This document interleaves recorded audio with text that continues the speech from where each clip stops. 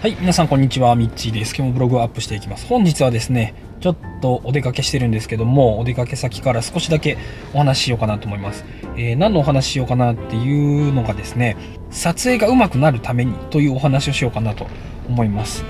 えー、というのもですね、今、えー、ZV-E1 というね、カメラ使って撮ってるんですけども、結構最近ですね、あの、フルオートで撮ることが多かったんですけども、またちょっとね、設定の方をマニュアルに戻しました。で、まあ、そのマニュアルに戻すことによって、まあ、環境に応じて、えー、設定を変えなきゃいけないんですけど、まあ、その環境に応じて設定を変えていくっていうことで、結構自分の中でどういう風に撮ったらうまくいくのかっていうのを、まあ、やっぱり考え始めるっていうところがありまして、まあ、お仕事では常にマニュアルで撮ってるので、まあ、映像がね、えー、良くなるよというのは、まあ、分かってはいるんですけども、逆に言ったらそれをね、うまくしていくためには、やっぱりマニュアルでいろんな環境で撮ろうよっていうところが大事なんじゃないかなっていうふうに思っております。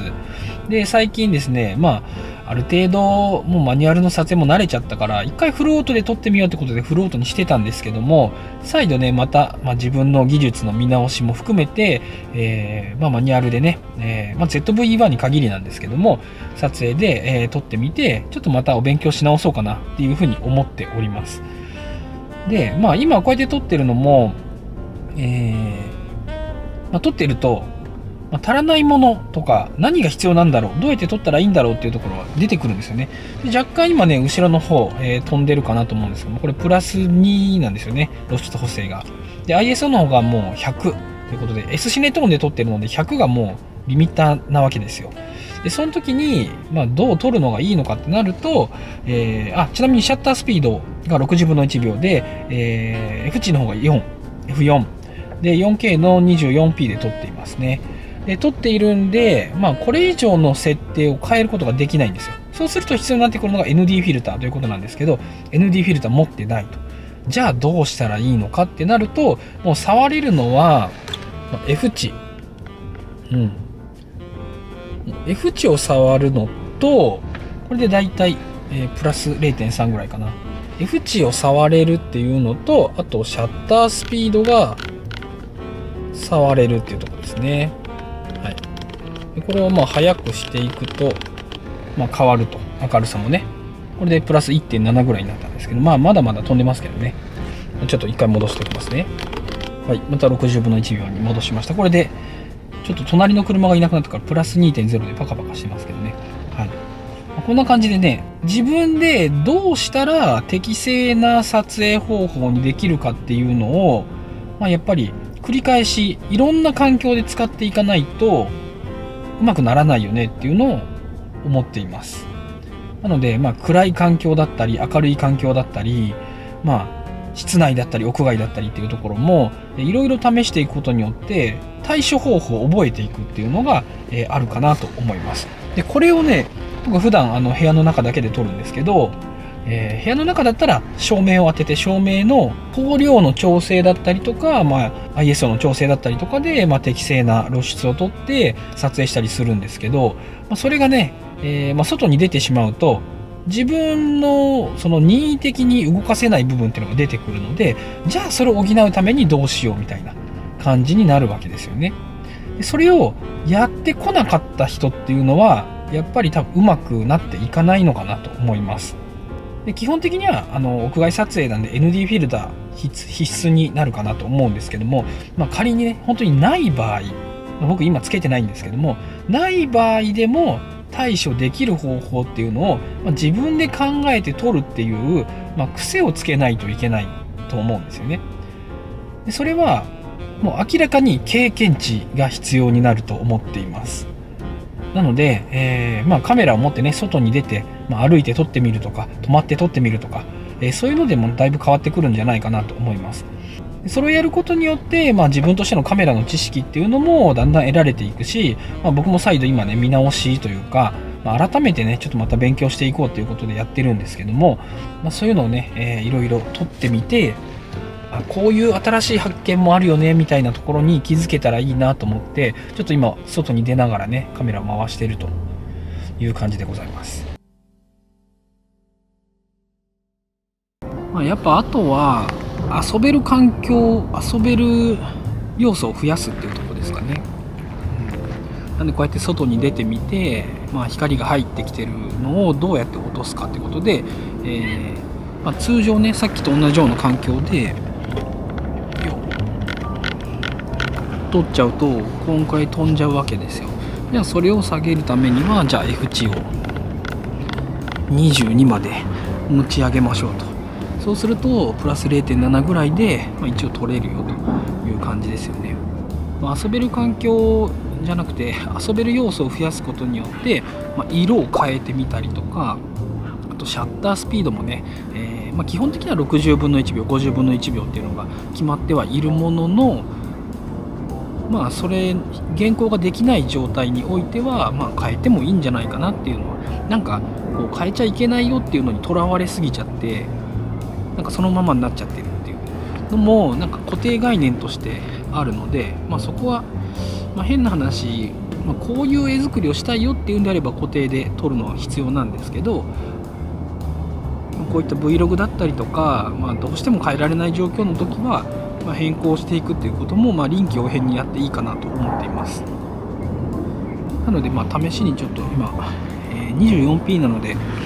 屋内だと厳しいけど。はい。120なんかで撮るっていうのも、まあ、別にいいよねっていうね。F にするとまだまだ飛んじゃうね120でも。倍のシャッタースピードにしても飛んじゃうっていう感じ。F11 にするとこな。今日ちょっとね曇りなんで結構後ろ飛んじゃうと思うんですけどこういったね曇りの時とかもやっぱ露出が難しいので、まあ、そういう時にもじゃあどうやってやったら、えー、まあ、ちょうどよくいけるのかっていうのもいろいろやっていくと面白いかなと思います。はい、で今ね、あのー、120あ変わっちゃった119.9分の1秒ということなので、まあ、結構パラパラ感はね出てしまうかなと思うんですけどまあ、けどね、えー、そういった取り方もやってもいいよねっていう。ちょっと普段使ってるやり方からの固定概念っていうのを、ま、外してあげた方が、まあ、より映像を作る上でも楽しいんじゃないかなと思います。なんかこういう風に撮らなきゃいけないよっていうのはもちろん仕事ではねやればいいかなと思うんですけど、まあ、そうじゃない時っていうのはもっといろいろチャレンジしてみてもいいんじゃないかなと思っています。僕のチャンネルなんか見てもらうと結構毎回色が違ったりとか、まあ、アングルが、まあ、最近は一緒だけどあ鳥が飛んでった。アングルをね、えー、違って撮ったりとかそういうことがね頻繁にあると思うんですけどそれもね毎回こう YouTube をやる上でのお仕事に生かすためのチャレンジとしてやってたりはするのでそういったね、まあ、チャレンジングなところを常に作っていくっていうの常に作っていくっていうのは、え面白いんじゃないかなと思います。そうですね。あとはねやっぱ画角を変えるとかね。目線を変えるっていうとこですかね。こういうところも今だと、まあ、12mm で撮ってるんですけども、まあ、12mm の1.44倍1.43倍になるので、まあ、実質 20mm 近くにはなってると思うんですけどもこれをね一気にこう 18mm まで持っていってまあ、絵を変えてみるっていうねそういうことをやるとまた違って見えるよと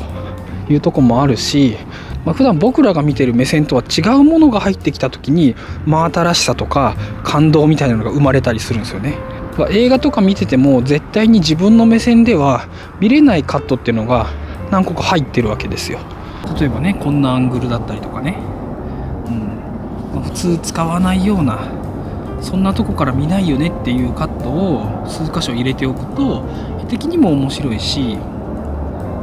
まあ、見てる人も楽しめるし映像を作る上でもま楽しいというかいろんなカットを差し込めることによって動きがつけれるっていうのはありますよね。こういったカットっていうのを合間合間に挟むことによって、まあ、映像全体のストーリーだったりとか、えー、環境を伝えるみたいなところが結構いいんじゃないかなというか、まあ、使えるようになるんじゃないかなと思っています。にしても今日は全部曇ってるからね。こういうのも難しいよね。なのでやっぱり撮影に応じて、まあ、レンズを変えるっていうのもね目線を変えるとかそういうのとまあ同じような効果があると思うんですけどレンズを変えるとやっぱ普段見ている目線とは違うカットを作れるっていうところが、まあ、映像の面白さにつながるだろうなと思います、まあ、残念ながら今はね、えー、1018っていう APS-C のレンズを使っているので、まあ、あまり焦点距離のね、えー、伸び縮み、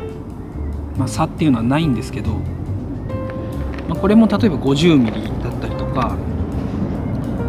まあ、200mm だったりとかそういうところにね映像を持っていくことによって何を見てるのかというか何を見せようとしてるのかが伝えやすくなったりとか、まあ、絵としてのね動きをより大きくさせる方法っていうことができるので、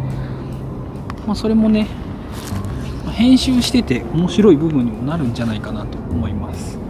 何よりもいろんな環境で撮ることによっていろいろ設定を変えていくということでカメラの機能を知ったりとかまあ、自分がね、えー、いざ何かあった時の対応ができるということで、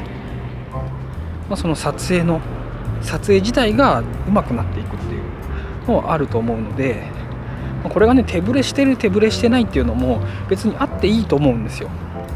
うん、それもまあやっていく上での勉強になるし、うん、逆に手がぶれてた方がなんとなくこう雰囲気が伝わるっていうこともあるのでまあ、そういうのもね含めていろいろとチャレンジングな絵絵作りをできたらいいんじゃないかなって思ってます。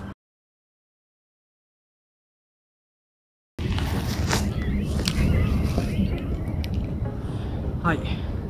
というわけでですね今日はちょっと外に出たついでにのんびりと散歩しながら語ってみましたがいかがだったでしょうか。えー、こういうね引きのアングルっていうのも面白いしちょっと水平が取れてないんでいけないですけど。そのいけないっていうのもダメだね、うん、どう撮っても記録として残せるし絵としてはまあいろんな使い道があるよ。もちろん編集でいじることもできるし。そこをね、まあ、改めて、え考えていくっていう上で、まあ、いろんな選択肢を増やすことによって映像っていうのは上手くなるんじゃないかなと思います。はい、ということで本日はですね車が来ちゃった。こういう時も音声をねこっち向けた方がいいよね。とかそういうのはありますから、ね、はい。なんで、まあ、今日はね、まあ、映像をうまくするため上手に撮影できるようになるための、えー、方法っていうのをご紹介させていただきました。この動画参考になりましたらぜひグッドボタンとチャンネル登録よろしくお願いします。それではみちでした。バイバイ。